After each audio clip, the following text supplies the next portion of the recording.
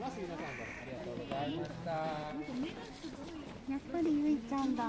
ゆいちゃんここにあるっしょそ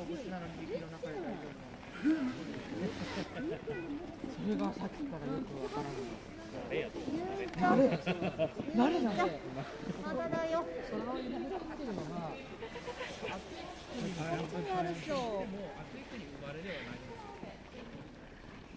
ゆいちゃんおねだりしてもダメだよ。皆さん思ってるんですけどもすごい。動物園の動物はそれぞれの故ん郷では生まれてないんですよ例えばここのキリンならオスは山口県で生まれてメスはアメリカ生まれなんですけど、まあ、そういう生まれでも元々なんかね強くありませんまあ慣れってい。うのもありますだけど、だから寒さに弱い。と思っていただいてダメだってダメだってってのはずって